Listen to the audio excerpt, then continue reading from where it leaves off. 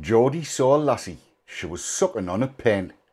So he gans across and asks her, What's that then, hen?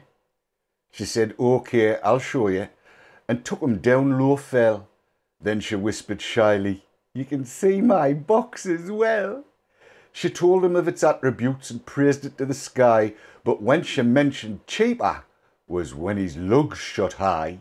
Now Geordie wasn't shy a walk, he watched it every day, but he always was a canyon 'cause he never had much pay.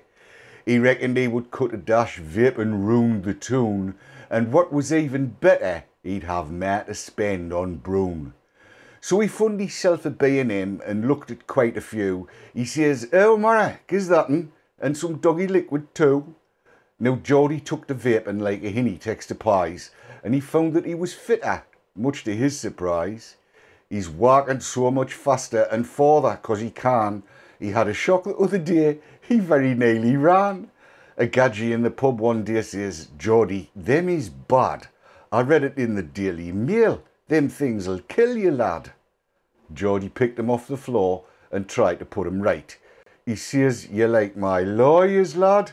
Had away and shite. Now Geordie's love of vaping has simply grown and grown. It doesn't cost a penny 'cause he builds his very own. A massive tube he got himself from under Old Tyne Bridge and welded in some wiring from his mother-in-law's fridge. And then he found a battery. He never was a thief. It dropped quite accidentally from a Mackem Nissan Leaf. For his tank he had to go by bus all the way to see him that used to hold piranhas in the Discovery Museum. For coils he uses rusty sheets and lots of old brute force. That's why you can see daylight through the Angel of the North. His liquid was a mix of things out that he could find. Rotten apples, dead piranhas and lots of bacon rind.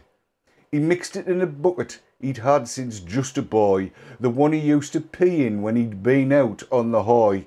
And when Geordie took a lunger, it was heard for miles around. People said, That's Geordie, you can tell it by the sound. And on his mighty exhale, folk couldn't keep their feet.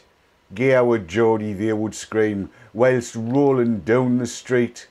But though the sky was sunny, and though the day was fine, they never could say Geordie for the fog upon the Tyne.